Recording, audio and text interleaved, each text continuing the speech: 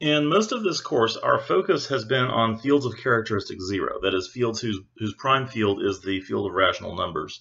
In this video, we're going to start heading along a little bit of a different tangent, which is how do we construct and analyze finite fields? You're already familiar with one example, or, or a class of examples of finite fields, that is the fields z mod p, where p is prime. So for any prime number p, we can construct the ring Z mod P, and that ring turns out to be a field because it's actually an integral domain, and every finite integral domain is a field. So that's one class of examples, and these have order P, where P is the prime that we selected. But did you know that there are also there are also fields of order p to the k for every prime p and every integer k greater than or equal to 1. And we're soon going to learn how to construct those. There's actually a systematic method for constructing any of those. But in this video, I want to talk about just how we might construct some of these fields just using what we know from the work we've done previously. So for example, suppose we want a field of order 9. We want to construct a field of order 9. So one question we might ask ourselves first is, what should be the prime field? So what is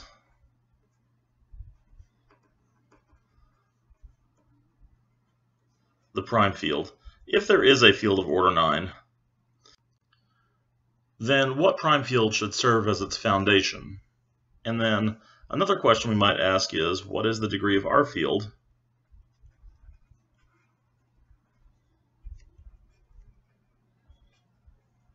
That is our field of order 9 over the prime field.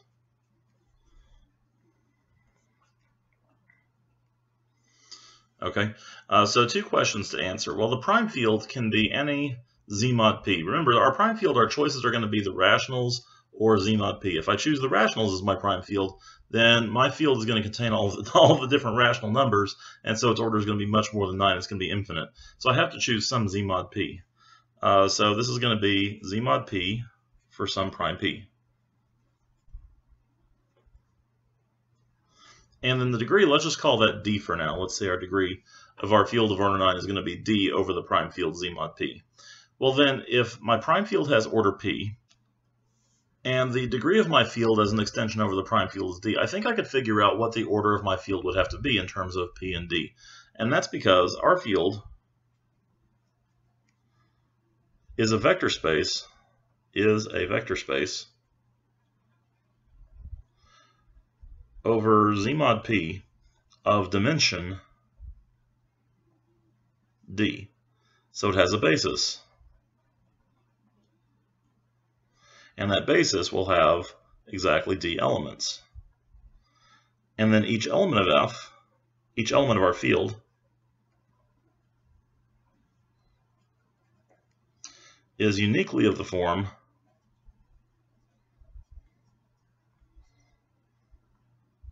uh, let's call it C1A1 up through CDAD, where C1 through CD, those are elements or scalars from the base field, from Z mod P. Okay, so when I think about elements of my field, those are going to have this form. I'm going to be able to choose this scalar, this scalar, this scalar, all the way through up to this scalar, and I have P choices for each scalar, which means the total number of choices I have for an element of F is going to be P to the dth power because I have to make D choices, and each time I have P options. So my field has order p to the d. That is, p being the uh, the prime from which I got z mod p, the, the prime field, and then d, the degree of my field over the prime field. So if I want my field to have order 9, then I need p to the d to equal 9, which means I need p to equal 3 and d to equal 2. So I need to construct an extension field over z mod 3 that has degree 2. How am I going to do that? Well, the way that we've always done this, if we wanted to construct a field of degree whatever over some field is we adjoin the root of an irreducible polynomial, and that is exactly what we will do here. All right, so let's try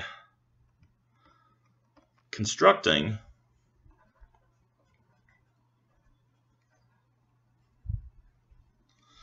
an irreducible polynomial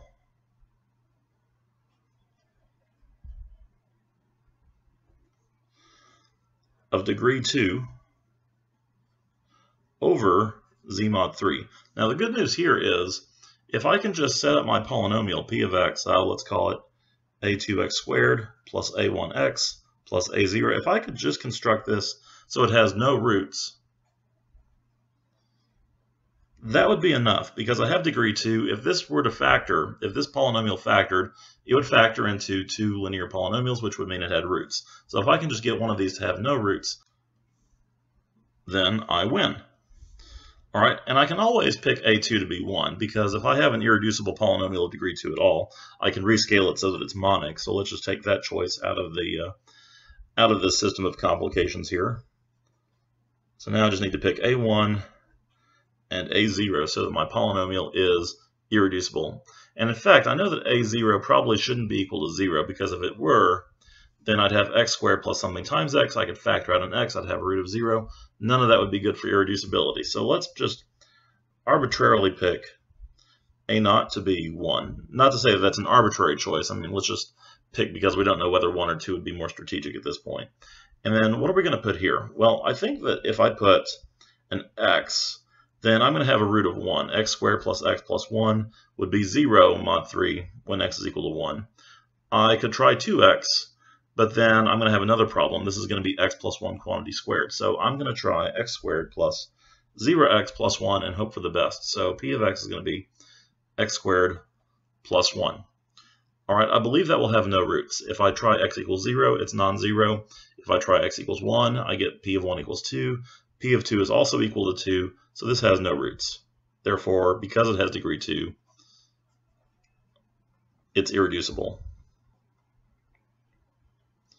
So I could let alpha represent a root of x squared plus 1 of that p of x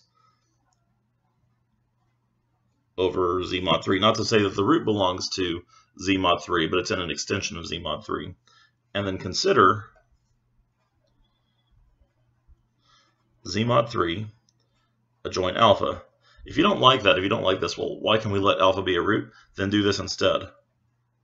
Take z mod 3 adjoin x and mod out by the ideal generated by x squared plus 1. Same deal there. It's going to be isomorphic. So then I have z mod 3 adjoin alpha, which means this is the field consisting of all a, uh, let's call it a naught, plus a1 alpha, sorry, kind of unfortunate choice of coefficients there, uh, such that a naught and a1 both belong to z mod 3. Well, how many elements does that have?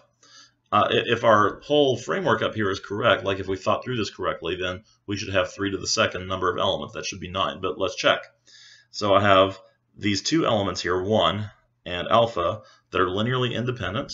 So I can check, I can choose a0 and A1 independently. I can pick 0, 1, or 2 for this. I can pick 0, 1, or 2 for this. Let's write that down. 0, 1, or 2, 0, 1, or 2. Each of those will give me a different element. So I have 3 times 3, which is a total of 9 different elements.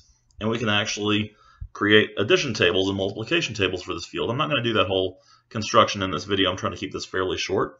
But let's just illustrate how we might multiply in z mod 3 adjoin alpha. So let's say I have two elements, uh, kind of non-boring ones. So let's say like 2 plus alpha and then 1 plus 2 alpha. That's probably a good exercise there. All right, if I multiply these, then what do I get? Well, over characteristic 0, I would get 2 uh, plus alpha plus 4 alpha plus 2 alpha squared. Because I am working over z mod 3, all addition is mod 3. So this is really 2 plus and this is an alpha, and this is like another alpha here. So that's going to amount to 2 alpha. Sorry, that's 2 alpha. And then 2 alpha squared. But now, wait, what about alpha squared? We didn't say anything about alpha squared when we set this up. Uh, hopefully I can translate that into something of the form alpha naught plus alpha 1. Or sorry, a naught plus a1 alpha. Boy, that was really regrettable, a and alpha. Anyway, so uh, well, what do I do with alpha squared? Well, remember that alpha was a root of the polynomial x squared plus 1, which means alpha squared plus 1 is equal to 0. So alpha squared is really just negative 1. In that sense, alpha behaves just like i in the complex number system. So this is 2 plus 2 alpha minus 2, which comes out to just 2 alpha, which is pretty cool. All right, so anyway, that's an example of how we do multiplication in this field. Uh, in the next video, we will talk about the structure of the multiplicative group of units in a finite field.